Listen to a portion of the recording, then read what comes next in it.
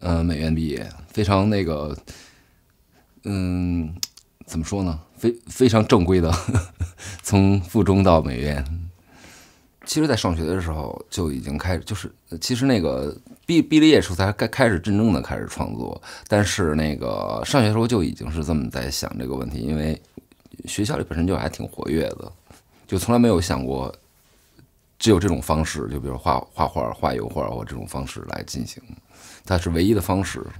就是它不就是从开始就觉得它不是一个唯一的方式，也不是你最终的要的一个东西。其实现在全就是整个是一个全球化，大家各种文化都融合在一起。呃，大家呃，其实带来一个很不好的东西，就是全世界各地东西都是一样的，大家越来越，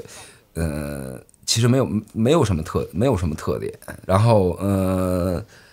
对于我来说，就对于一个比如一个中国艺术家或者一个这样来说，呃，因为你从小是在这个环境中成长的，你也永远你也一直在接受着这个，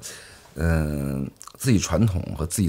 自己的传统和自己的历史，自己所有的东西，你都你都有所了解。但是你真正如怎么把它带到一个就是当代的一个语境里，能够把你最好的就是我就你本身最好的东西，能够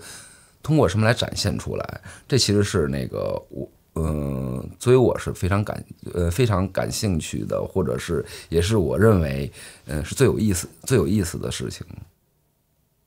其实是一个很古典的工作方式，嗯，是不是一个就说我想好了一个东西，然后设计出来之后就可以拿去生产了，而是说无论这个想法是是什么样的，我都会在旁边一直看着它，一直在不断的进行着，就跟做做个雕塑一样进行。无论做什么样的作品，都是这么进行的。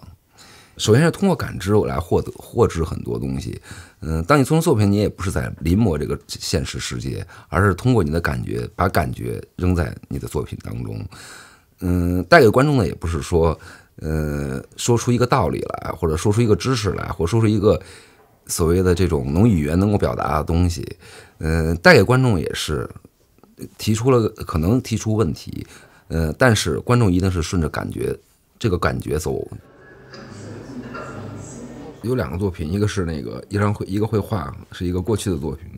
题目叫《解放》。对，来源于这张画上有很多的线，这个线既是一种，既是一种那个可控的技法，也是一个解放，就是说线条把所有的底下的图像都解放了。还有一个作品呢，嗯，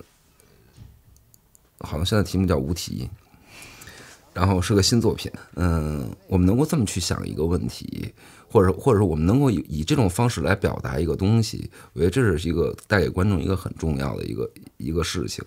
嗯，当然里面也有一个很多自我的一个自我的一个呃，怎么说呢？也可以说是训练，也可以说是尝试。就是说，嗯，其实起初是一个是一个立体的一个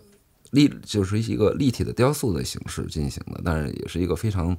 嗯。